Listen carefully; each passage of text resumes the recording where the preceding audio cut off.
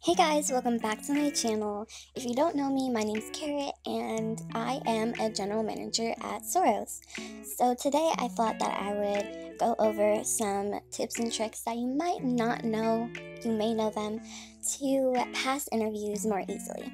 If you have any other tips for people watching this video, then comment down below and share your ideas. If you do like this video, make sure to click the like button and subscribe for more content. Now getting into the tips, the first tip that I have for you is to calm yourself and remember that you can always try again. Um, one thing in Soro's is that we have a lot of interviews. We have like two interviews every day if they aren't canceled or if it's not a holiday, something like that. So on a regular day, we have two interviews every day. Sometimes we even have three interviews. Um, so you can always try again um, if you fail. Now, I know it's really nerve wracking to just be in this interview room with other people that could potentially get the job instead of you, but just remember to calm yourself down. You got this, and if you fail, it's not a big deal. The second tip I have for you is to be nice to your interviewer. When you are in the lobby and they come up to you, you should greet them, make sure that they know you're not AFK, say hi, um, how are you doing, thank you for taking me, something like that. When you get into the interview room and they introduce themselves, say hi, nice to meet you, things like that. And it's better than just being silent and not responding to them. Another thing you can do is thank them for taking time out of their day because we really do um, make sure that you guys have a really good experience. Sometimes it even takes up to an hour to interview people, and you know, that's a pretty significant amount of time out of our day. So make sure to thank them for taking time out of their day. The third tip I have for you is just a basic one, but a lot of people just don't really understand it, is to use grammar. Grammar is such an important piece of Soro interviews if you don't have grammar, then you're gonna get kicked right away. Now, although it's not as strict as it used to be, um, we still do look at your grammar. Um, make sure that you're capitalizing your I's. Make sure that you're capitalizing the first letter of every sentence. Make sure you're using punctuation at the end of every sentence, like periods or exclamation marks um, or question marks, I guess, if it's you know, fitting.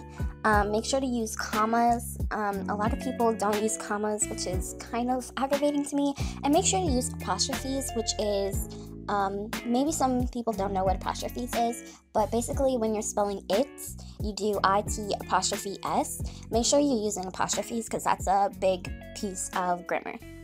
Now, if you do fail because of grammar, then I suggest, you know, at the end, before they kick you, to ask them, you know, can you tell me the mistakes that I made if they don't already tell you, so that if you want to try again, then you have that information.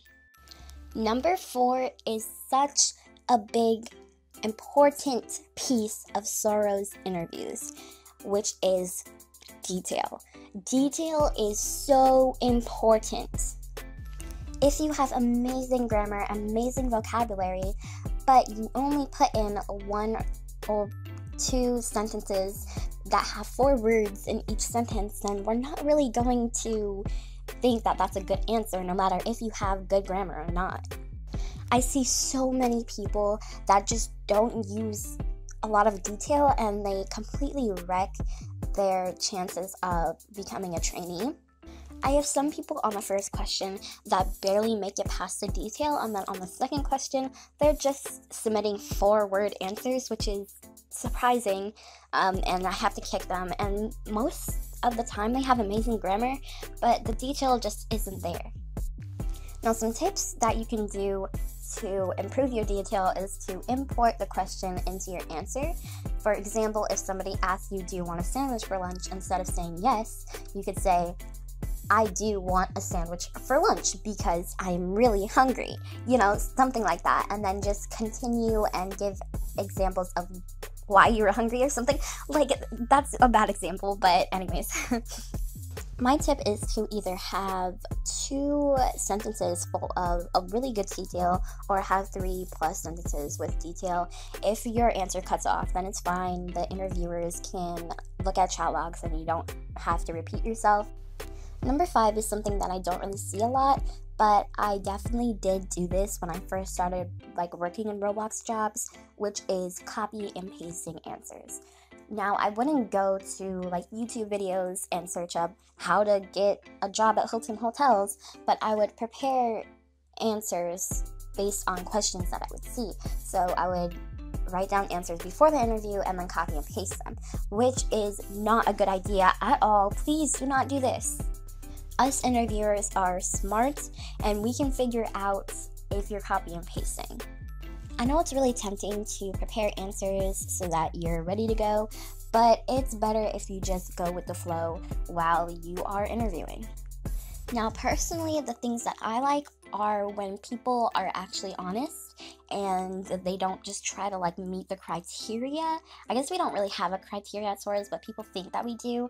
Um, of getting a job here. Some people are really proper, they use big words and make sure they have a lot of detail, and some people just are really honest and they're like, oh, the definition of success to me, um, you know, just living life. You know, like I love those answers. Personally, I love those answers. Everybody's different, but I love those answers. Soro's is professional, but you know, we're not a real life job. You don't have to be really, really professional. Um, some people think that you have to, you know, wear proper clothes to interviews, and that's just not true. For trainee interviews, you do not have to wear proper clothing. Your clothing does not matter. It doesn't matter if you don't have any Robux. It doesn't matter if you have an Xbox character. None of that matters. It's just your answers matter. Now, number six, I kind of sneaked into number five, but number six is don't worry about your appearance. Your appearance at trainee interviews really don't matter. It doesn't matter if you have yellow, pink, green, red, rainbow, purple, Halloween skin. It doesn't matter if you're wearing a dress or a suit or if you're wearing oh default clothing.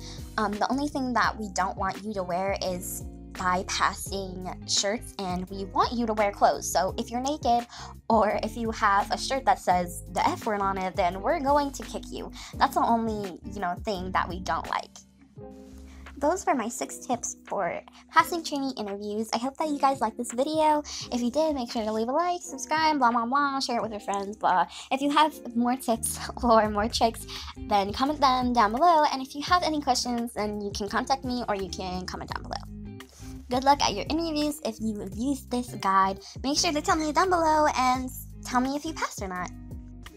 Wrapping up this video, I hope you guys have an amazing day and amazing rest of your week. Bye!